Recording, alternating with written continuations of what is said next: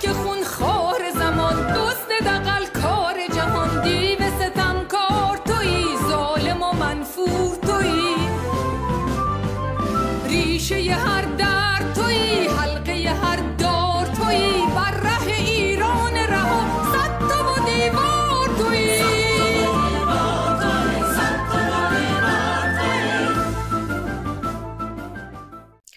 در آستانه 77 مین اجلاس مجمع عمومی سازمان ملل متحد شورای ملی مقاومت ایران شاکیان و خانواده های قتل عام شده سال 1367 از ابراهیم رئیسی رئیس جمهور نظام آخوندها به طور رسمی در نیویورک شکایت کردند. این شکایت اما برای چیه؟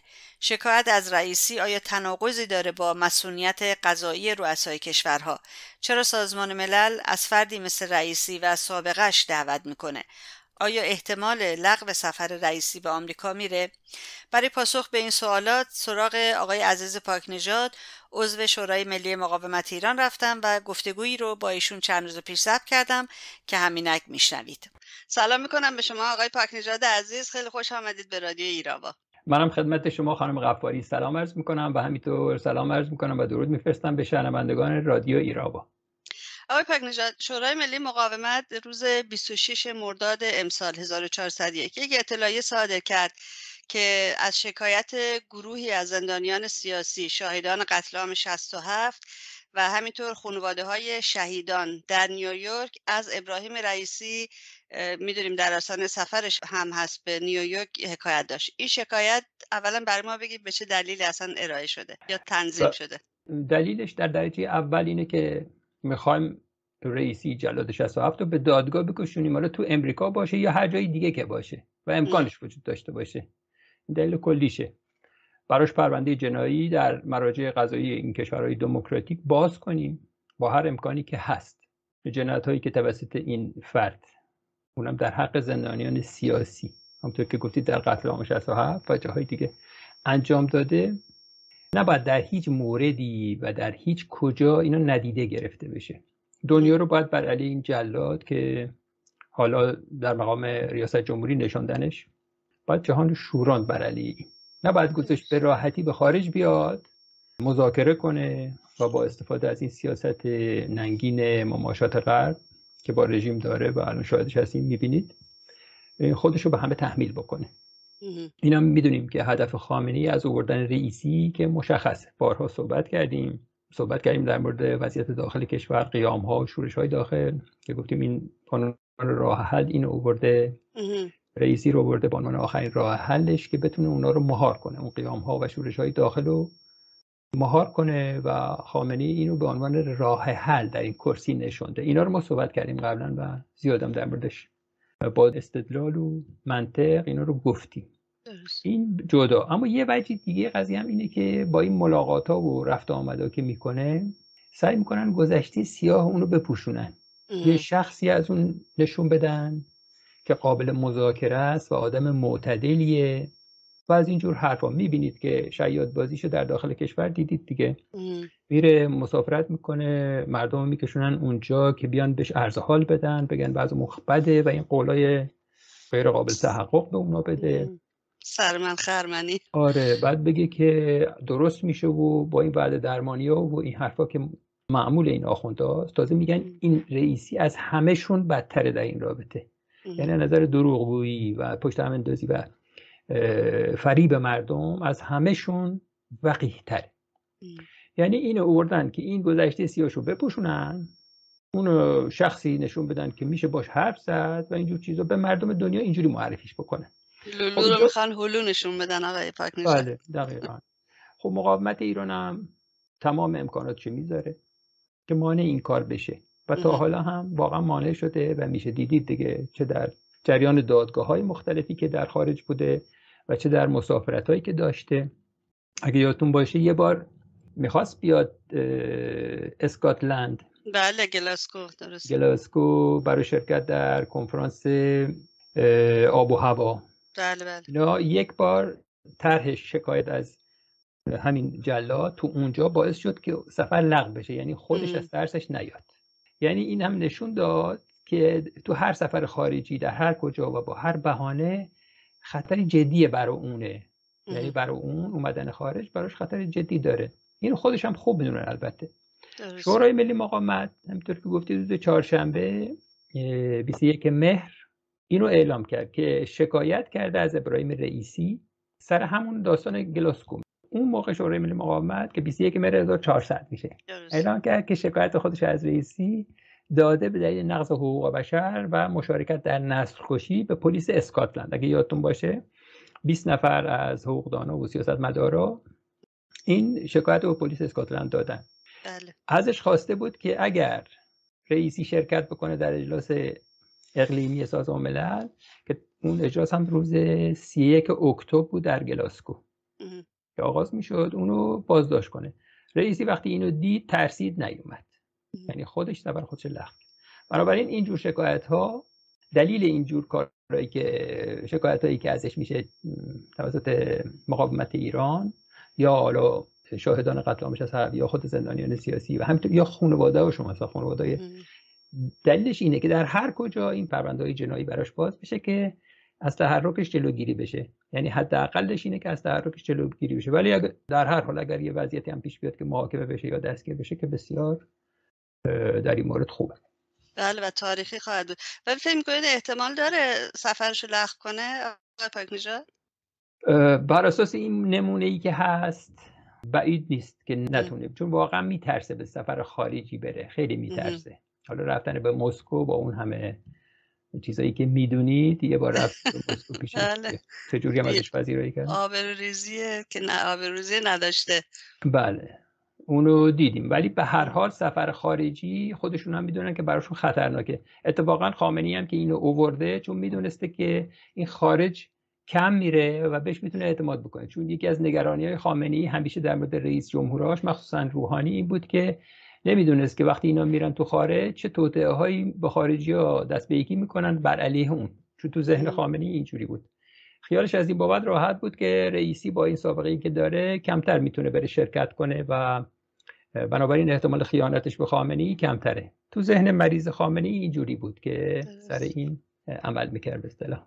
شما گفتید که اگر که بازداشت بشه توی نیویورک خیلی عالی میشه ولی آیا این شکایت می‌تونه به بازداشت رئیسی منجر بشه آقای پاکریجاد از قانونی بیشتر منظورم هست. بله. بله.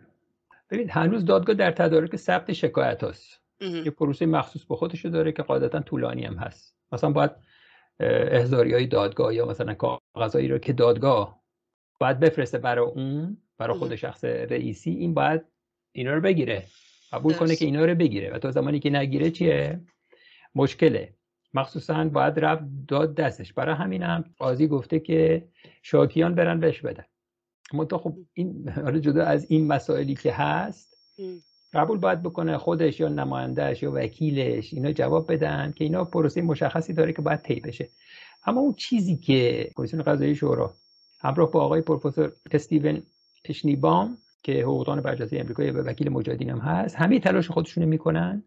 می‌خوان طی این سفر که احتمالش هست این سفر احتمالی رئیسی رو در معرض خطر دستگیری و محاکمه قرار بدن. یعنی شما در نظر بگیرید وضعیت چجوره. حالا چه با حکم دادگاه یا از طریق راه های دیگه. این جزی از کارهایی هست که باید انجام داد. وقتی رئیسی به نیویورک بیاد این حضور فیزیکی که داره در اونجا این فرصت رو به شاکیا میده. شاکیانی که شکایتشون ثبت کردن که اون رو در معرض دستگیری قرار بدن. چون وقتی بیاد نیویورک طبق این قانون طبق این قانونی که قاضی بهش استناد کرده وقتی بیاد نیویورک یعنی در داخل امریکاست طبق این قانون باید در داخل امریکا باشه طرف. یعنی نظر حضور فیزیکی باید در امریکا باشه که بشه مثلا اقدام کرد برای چیزش.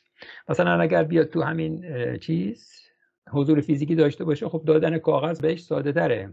دادن کاغذ های دادگاه درسته. به صورت فیزیکی هم ساده تره و هم عملی تره. بنابراین این جلاد برای سفر به خارج باید واقعا به خودش بلرزه. طبق معمول. رژیم اعلام کرده که میاد رئیسی میاد به نیویورک یا میره به نیویورک برای اجلاس مجمع عمومی. ولی باید دید که اینجور ریسکا رو میپذیره یا نه. همونطور که عرض کردم خدمتتون پروسش اینجوریه. رئیسی می‌تونه در امریکا با وضعیت های غیر قابل پیش بینی روبرو بشه و خودش هم اینو خوب می‌دونه. جزئیات بیشتری هم از این اقداماتی که شده تو اطلاعی های کمیسیون قضایی شورا هست. من یه تیکش رو خدمتون ارز کنم در این مورد. اشاره می‌کنه و میگه که شاکیان که هواداران سازمان مجاهدین خلق ایران هستند در شکایت های خود تأکید کردهاند که در سال 1988 یعنی هم 1967 خودمون که سی هزار زندانی سیاسی در سراسر ایران قتل عام شدند رئیسی عضو کمیسیون مرگ در تهران بوده و مستقیما در اعدام هزاران زندانی سیاسی مسئول بوده. شاکیان با توجه به اینکه در سال 67 هیچ یک از مسئولان اصلی قتل عام مورد معاخذه قرار نگرفته. می‌خوان رئیسی در جریان سفر به نیویورک که میاد در برای شرکت در 77 مین نشست مجمع عمومی در برابر عدالت قرار بگیره. پس خواست شاکیان مشخصه. با اون اینه که این جلاد در برابر عدالت قرار بگیره. باید کمی صبر بکنیم و ببینیم که چگونه این مسئله پیش میره. درسته. البته برخی از این شاکیان در خارج از آمریکا هستن و در اروپا هستن. آیا قانون آمریکا به چجوری است که بهشون اجازه داده حتی این شکایت رو به حال برسونن به دست قاضی یا شکایت رو انجام بدن به صورت عملی؟ یه قانون هست. یه قانون قدیمی هست به نام ATS شکایت خارجیان که بهش میگن الین تورت استاتوت ایلیان تورت استاتوت در امریکا هست که البته بسیار کم استفاده شده. و الان در جریان این داستان یعنی این شکایت مقاومت ایران تو این پرونده به همین استناد شده که این قانون رو خودش به نوعی چیکار می‌کنه؟ دوباره زنده می‌کنه. یعنی مثلا میاره جلو. تازش می‌کنه که دیگران هم بتونن به روزش می‌کنه در واقع. به روزش بله. می‌کنه. این قانون به افراد غیر مقیم در امریکا هم اجازه میده که تو دادگاه های فدرال امریکا به خاطر نقض قوانین بین المللی مستقل از اینکه جنایت در چه کشوری اتفاق افتاده باشه اینو شکایت کنن. اینو چهل سال پیش از سال 1980 در این مواردی مثلا مثل شکنجه، جنایت علیه بشریت و بازداشت های خودسرانه در دنیا در مراجع قضایی امریکا مورد استفاده قرار گرفته. یکیش هم فکر کنم شکایت از نسله بود شرکت نسله که شکلات این چیزا می‌سازه. مثل که کودکان افریقایی شکایت کرده بودن بر طبق همین قانون و مورد استفاده قرار گرفته. متا گفتم خیلی کم از این استفاده شده. یه نکته که هست از نظر رتبه بندی هم این نقض حقوق بشر نقض فاحش حقوق بشر توسط رژیم بر علیه این شاکیان و هزاران نفری که تو سال 1988 زندانی سیاسی بودن اینا به عنوان اقدامات غیرقانونی و جنایتکارانه در سطح بینالمللی اینا دستبندی میشن. یعنی وقتی دستبندی کنن جرائم رو این نوکایی رو که رئیسی کرده اینو به عنوان اقدامات غیرقانونی و جنایتکاران جنایتکاران دستبندی می‌کنن. تازه علاوه بر این قانون یه قانون TVPA هست. که حفاظت از قربانیان شکنجه است. که اونم به شهروندان امریکایی و افراد مقیم این کشور برای اقامه دعوا علیه این شکنجه و قتل جنایتکاران که در کشور دیگه صورت می‌گیره اینم همین دسترسی مشابه رو به دادگاه میده. یعنی از نظر قانون چیزی کم نیست و قاضی قبول نمی‌کرد. یعنی همین آقای قاضی جسی فورمن بله. که می‌دونید در دادگاه ناحیه جنوبی نیویورک کار می‌کنه بنا به این قوانین این پرونده رو باز کرده. و برای اولین رسیدگی هم همونطور که احتمالا اطلاع دارید تاریخ 15 نوامبر رو برای یک کنفرانس مقدماتی رسیدگی به این شکایت ها قرار داده که طبق روی دادگاه معمولا در پرونده های مدنی به صورت آنلاین برگزار میشه و از وکلای طرفین خواسته میشه که شرکت بکنن.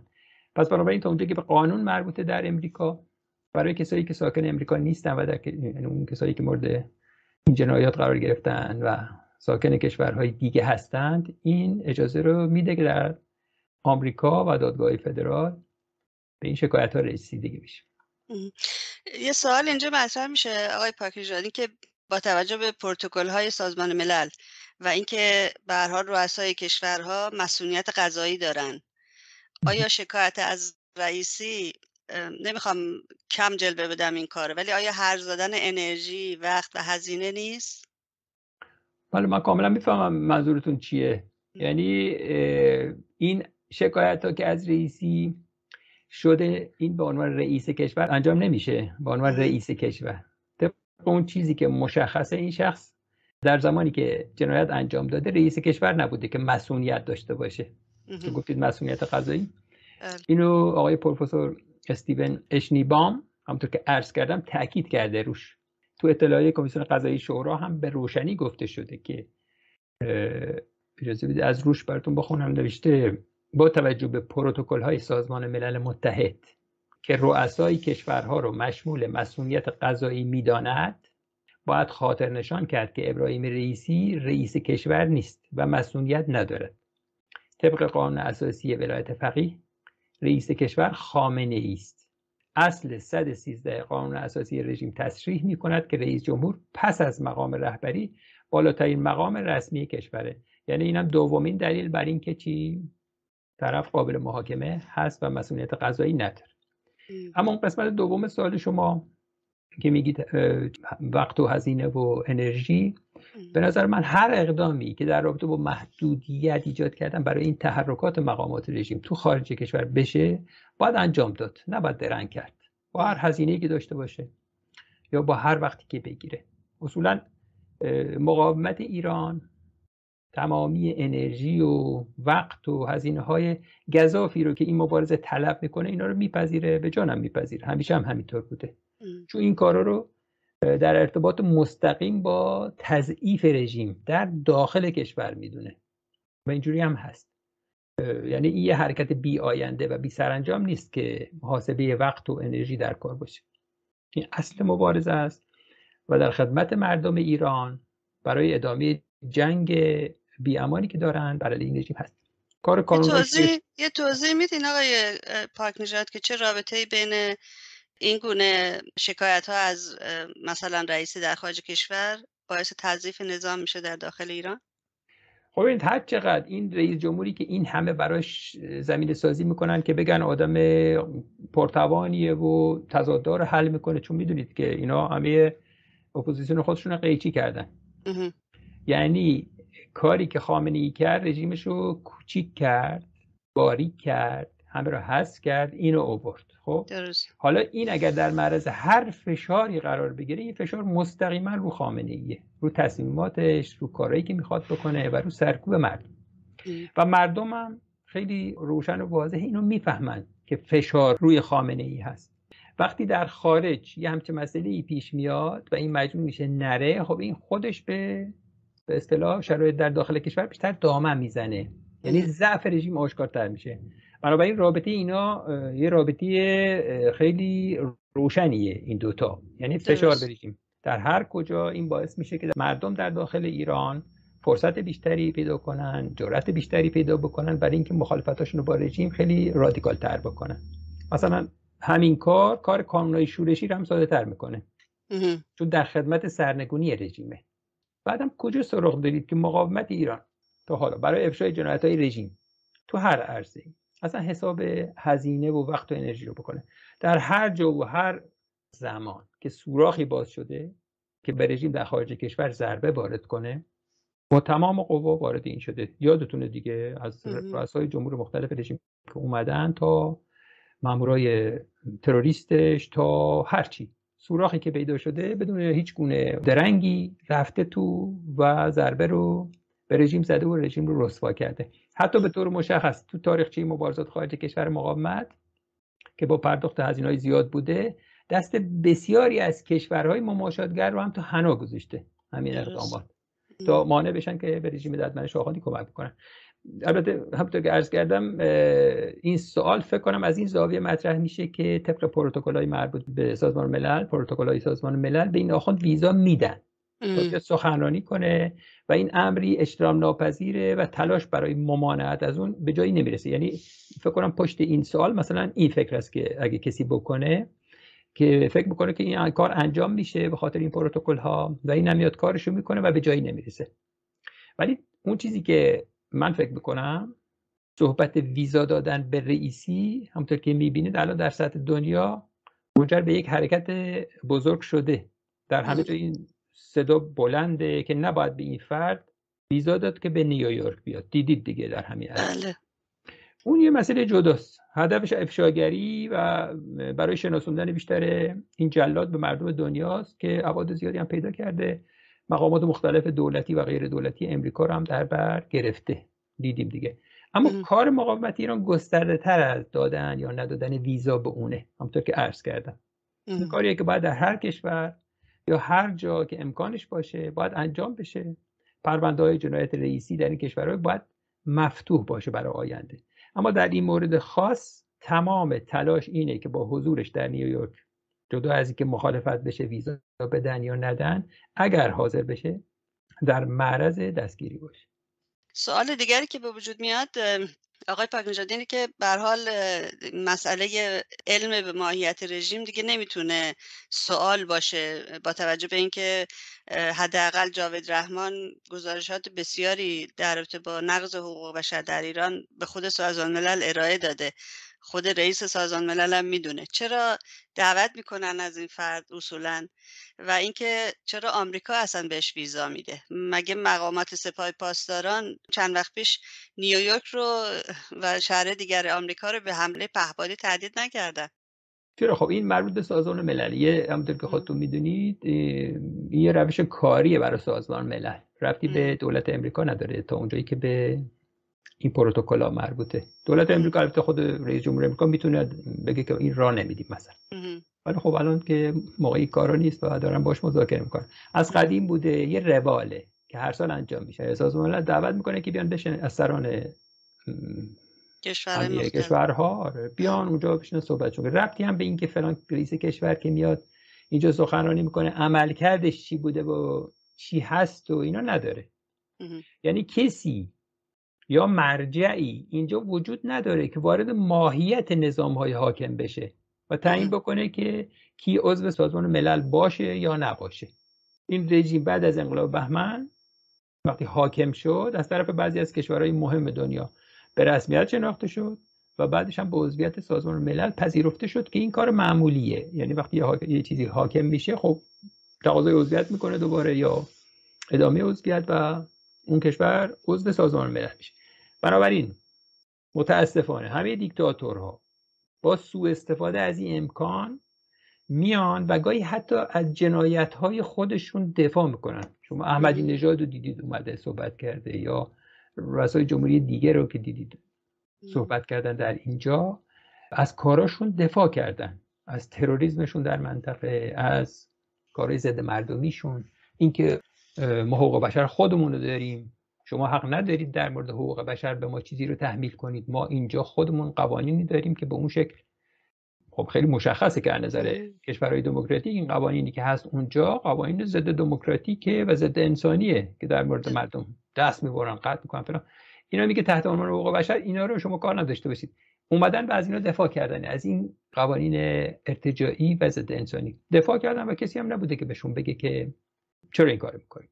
اما یه روش هست که سنتی هم هست یه عکس العمل مهم. سنتی کشورهای دموکراتیک هست که وقتی طرف میاد سخنرانی بکنه یه چنین جنایتکارانی میان سخنرانی بکنن موقع سخنرانی بلند میشن از جلسه به عنوان اعتراض بیرون میرن که این خودش بی‌آبرویی زیادی برای اون به همراه میاره عکس‌ها و تصویراش هم داده میشه مهم. صندلی های خالی که این بیشترین بی‌آبرویی رو بر اون رئیس جمهور یا اون کشوری که این ازش اومده داره اما خب اینا آخوندن دیگه. اینا با وقاحت رو اون چند تا صندلی پر که متحدینشون هستن حساب می‌کنن و این کار می‌کنن. همیشه همینطور بوده که وقتی اومدن با آبروریزی این تجربه رو کردن. در ضمن دعوت کردن از رؤسای کشور. یک پروتکل پذیرفته شده است از طرف سازمان ملل. به طور معمول هم این دعوت از سران انجام میشه. در حال حاضر هم رئیسی به عنوان رئیس جمهور از امتیاز می‌خواد استفاده کنه. با حضورش فضا رو آلوده به گنداب به ولایت فقیه بکنه و در مقابلش مقاومت ایران با تمام قوا و با توسل به راههای قانونی البته تلاش می‌کنه که از این کار ممانعت به عمل بیاره. درست. اولین بار رئیسی میاد آمریکا آقای پاک نژاد آره من فکر نمی‌کنم. هیچ وقت از جاش تکون خورده باشه. تا زمانی که چیز بوده تو لیست بوده اصلا. هنوزم تو لیست هست ولی توی بعضی از لیست های امریکا هست. من فکر می‌کنم که الان فکر می‌کنم میشه که حرف مقاومت رو بهتر فهمید. اون موقع که توی لیست تروریستی کشورهای اروپایی و آمریکا بود و از زنجیر و صدهای مانع از کار حرف می‌زد الان واقعا روشن میشه که وقتی دستش باز باشه چقدر می‌تونه فعالیت کنه. نه آقای پاک نژاد دقیقا همینطوره. ببینید الان رژیم واقعا حاضر هر چیزی رو بده. صحبتش هم میگن هست. یعنی میره در مجامع مختلف این صحبت رو می‌کنه که باید دوباره اینا برن تو لیست تروریستی و این حرفا که بسیار خنده داره. مثلا من یه مثالی خدمتون ارز کنم. زمانی که مقاومت ایران رو با یک خیانت آشکار یا زمان کلینتون بود اگه یادتون باشه. بله. گذاشتن تو لیست بر اساس چی بود؟ بر اساس یه پروژه بود به اسم اصلاحات. یعنی رژیم تسلیم شده بود قرار بود رژیم عوض بشه اصلاحات بکنه و از این حرفا تمام دنیا هم تقریبا روی خوش نشون داد. بر اساس این پروژه تسلیم رژیم به شرایط اروپا و امریکا در زمینه آزادی ها در زمینه نه آزادی های چیز اساسی در زمینه همین عدم نقض حقوق بشر قطع عملیات تروریستی در خارج و اینجور چیزا. بر اساس اون اومدن این کار کردن. یعنی رو حساب اصلاحات قلابی آخوند خاتمی. همه هم سر کار گذاشتن. مقاومت ایران رو واقعا به زنجیر کشیدن. ولی الان در حال حاضر با کدوم پروژه می‌خوان این کارو بکنن؟ پروژه اتمی یعنی درست در نقطه مقابل اون زمان که رژیم تسلیم محض بود الان با کدوم پروژه؟ با, با پروژه چیزش؟ تروریسمش که اینجوری گسترشش داده تو همه جا تو امریکا میره ترور می‌کنه. سالمون رشدی رو رفته بله. داده ترور کرده. رفته خیلی عجیبه. رفته استخدام کرده که برن آقای بولتون و آقای پومپئو و دیگران رو ترور کنن. آقای ترامپ رو رفتن رئیس جمهور سابق امریکا رو براش چیز گذاشتن که انتقام قاسم سلیمانی رو بگن.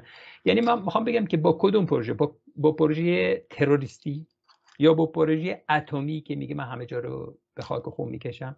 یا این کاری که در منطقه می‌کنه؟ یا این سرکوبی که در داخل می‌کنه؟ همه جا رو بسته و اعدام و یعنی اون زمان یه پروژه بود که این کار انجام شد. الان با کدوم پروژه می‌خواد؟ با اینا می‌خواد بیاد و اونا رو وادار کنه که مقاومت ایران بذارن تو لیست؟ من به نظرم خیلی خنده داره. یعنی همچین چیزی در عالم واقع نمی‌تونه اتفاق بیفته. ولی تلاش رژیم کماکان در هر جا که میشینه با وجود که می‌دونه بی خوده چون مثلا یه زمانی به دولت فرانسه گفته بود که باید چیز کنید محدود کنید اینا رو. بله. در فرانسه و آقای مکرون اومد گفتش که اینا در چارچوب قوانین دموکراتیک کار می‌کنن و آزادن هر کاری بکنن. در چارچوب همین آزادیایی که در فرانسه هست اونا کار یعنی جواب رژیم رو به سراحت دادن هر کجا. حالا اینجا بیاد مثلا بخواد یه همچه کاری بکنه. اینو من در جواب شما که فرمودید اون زمان بستن و نتونستن یعنی یه کاری کردن که مقاومت ایران نتونه هیچ کاری بکنه کاملا درسته. الان که تا اندازه ای دست مقاومت ایران بازه در این مورد دیدیم دیگه. رژیم واقعا به جایی رسونده که حتی رئیس جمهوری بیاره که منفور در سطح دنیا و تقریبا هم هیچ جا نه جرأت رفتن داره نه کسی حاضر با آبروی خودش بازی کنه و اینو دعوت کنه تو کشورش. درسته. ولی اگه بیاد هرچند دستگیرم اگر نشه بگم خیلی دیدنی باشه. چون اصلا حرف زدن که بلد نیست از رو خوندن هم بلد نیست. خیلی اگه بخواد بیاد برای سوء استفاده از موقعیته. بله ولی خب می‌تونه آنلاین این کارو بکنه یا مثلا اون حرفای تکراری و جنایتکارانه رو که دفاع از کار خودشون از جنایاتشون این حرف هست می‌تونه اونجوری بزنه. ولی اگه بیاد اونجا خب باید دید که چه در انتظارشه. یعنی از بابت قانون چجوری عمل می‌کنه در امریکا و اصولا کسایی که باش مخالفن چجوری مخالفتاشون ابراز می‌کنن. به احتمال زیاد تظاهرات زیادی بر علیش میشه اگه بخواد بیاد. ولی خب بر همون چیزی که شما گفتید این یکی تجربه رو اگه بیاد با ریزی تموم خواهد کرد. دقیقا همینطور نهارم که بهش نمیدن آقای خیلی ممنونم از وقتتون آقای پاک و با توضیحات روشنگرانتون مثل همیشه سوالات جواب دادید. روزتون بخیر. روز شما هم بخیر. خیلی متشکر که منو دعوت کردید.